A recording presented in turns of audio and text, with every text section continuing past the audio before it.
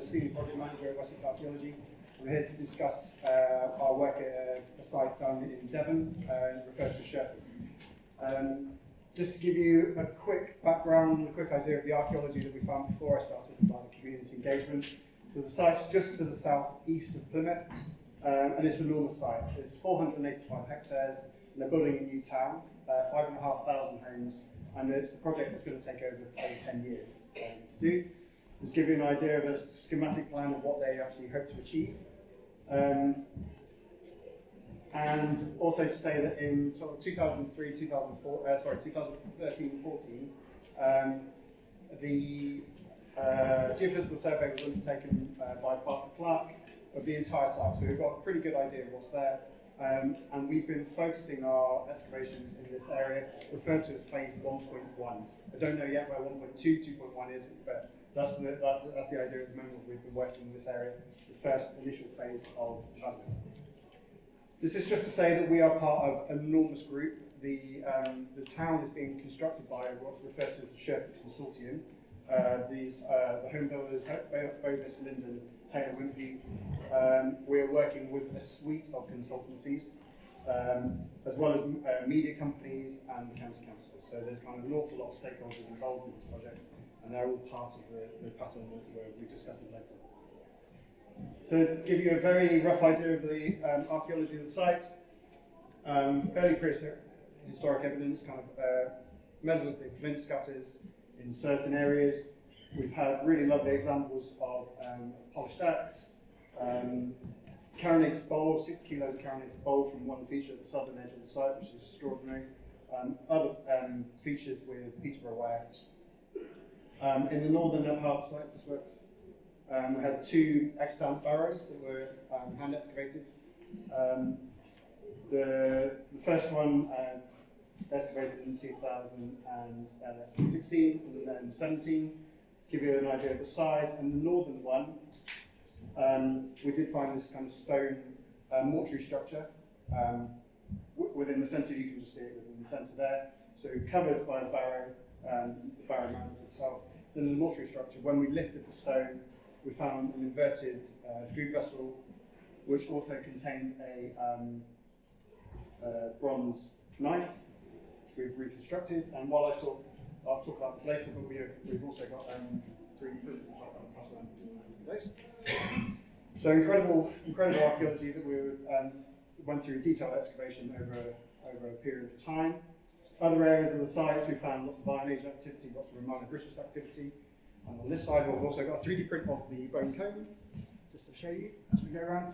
And also an extraordinary find of um, spoon mold in, in, one part of the site associated with the settlement, which you also have a, um, a 3D print of. Um, and then some other kind of examples of some of the finds we've got from the site.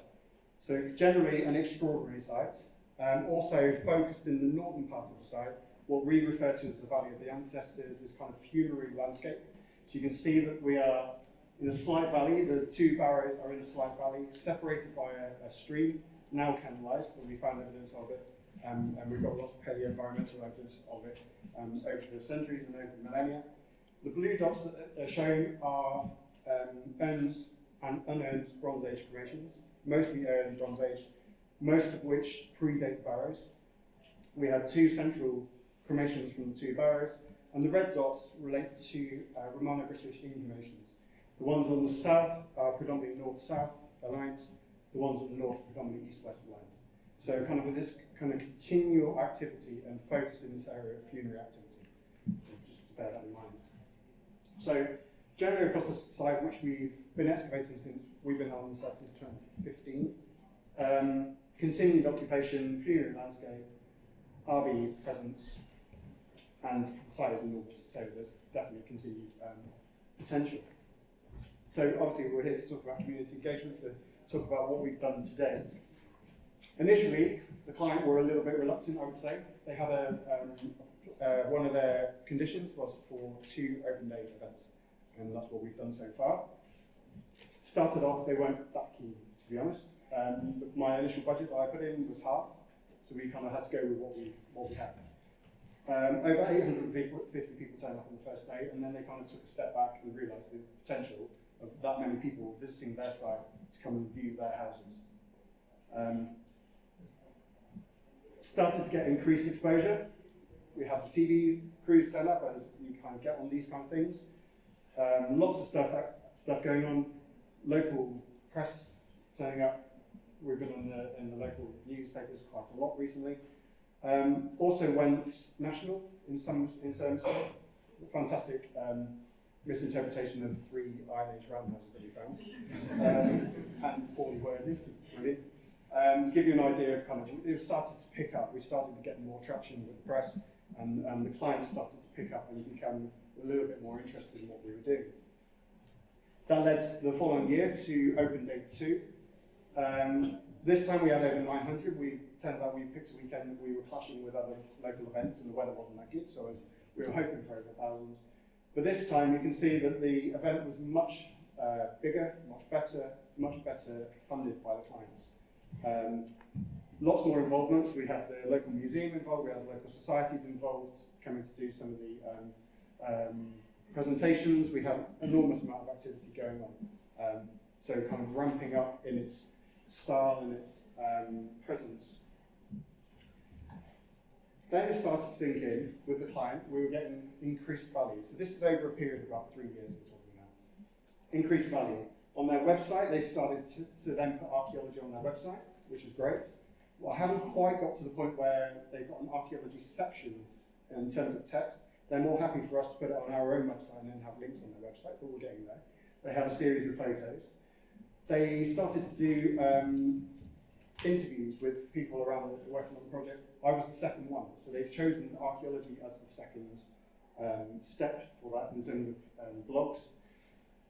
Increased school activities. Um, so we've spoken to about six different schools in the area, so we've got um, increased um, exposure there to local schools.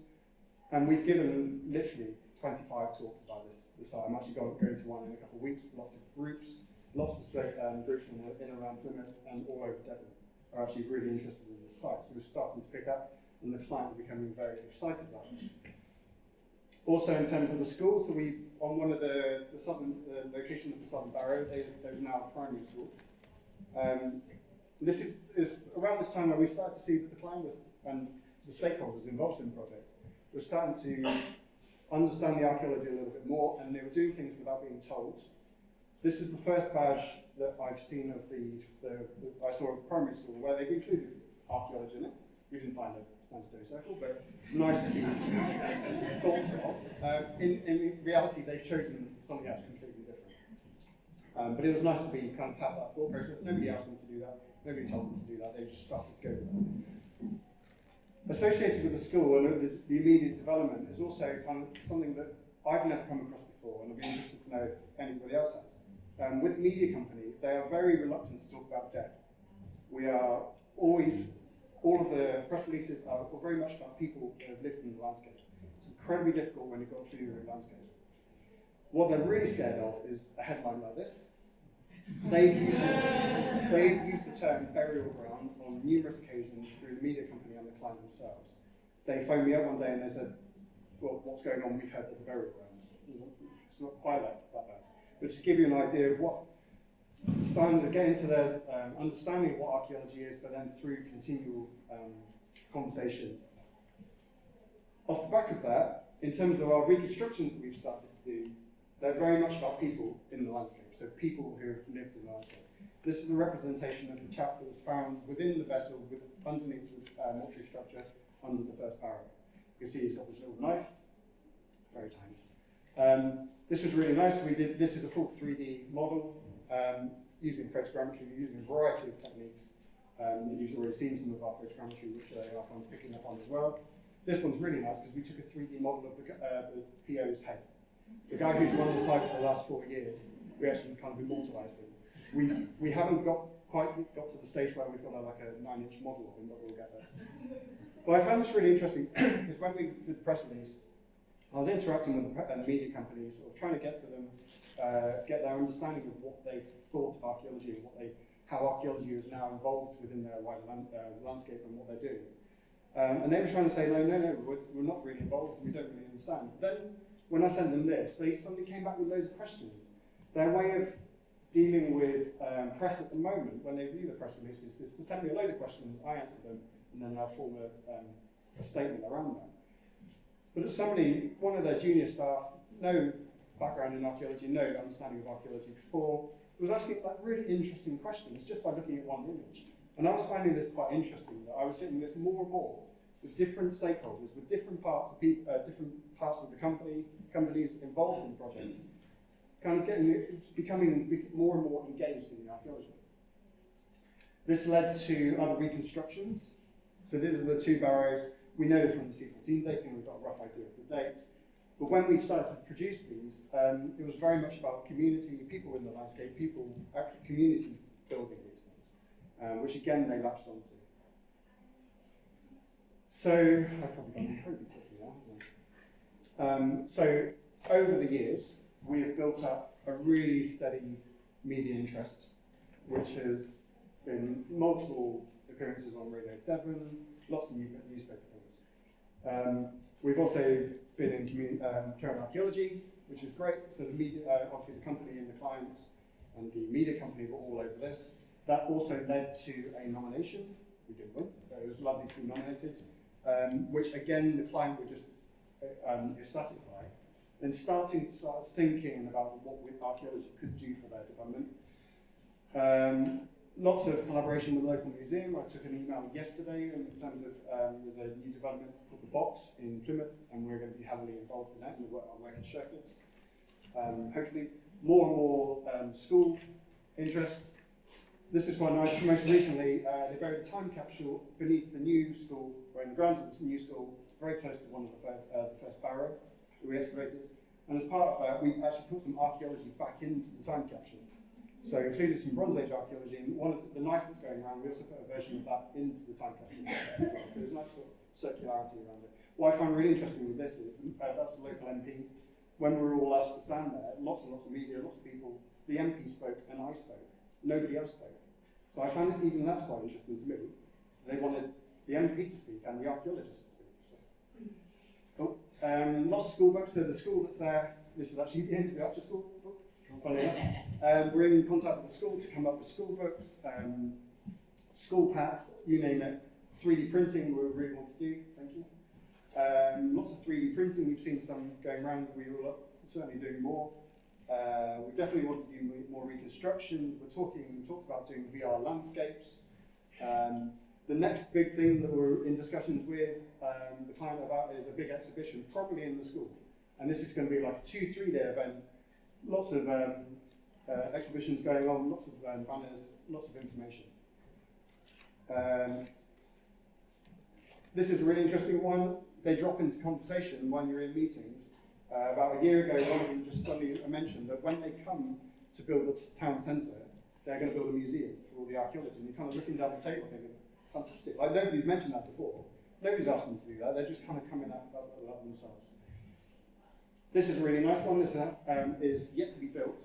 But on the southern edge of the site where they want the community areas, uh, they, they're going to start building follies, seated areas. They came up with themselves, their, their designers came up with the idea of doing a one in the shape of a roundhouse, and it, it's going to be positioned about 20 metres away from our location of a uh, Middle Bronze Age roundhouse that was discovered, recorded, and not excavated. So again, nobody asked them to do that. It's just really exciting to see. And the other um, thing is for lots of community, community excavations. We were due to have one last year, it didn't really happen, um, but there's much better sites in the, in the future. So in terms of just lessons learned, for me, really good um, relationships, making those contacts, making those relationships, and line thinking really early on.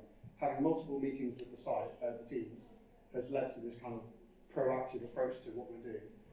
So definitely communication, sowing the seeds. So you'll see some of the 3D prints, we've done those off our own back. The, some of the um, reconstructions that you've seen, we've done off our own back. They weren't involved in the current archaeology um, article, but they are seeing the benefits of, of doing that. So then uh, our, our take was to put the work in up front and then get them engaged so we were commissioned to do more. Um, certainly in, in, terms of improvements, so like the VR landscapes and those kind of things that we're really, really pushing within our team. um, just to try and show them new opportunities.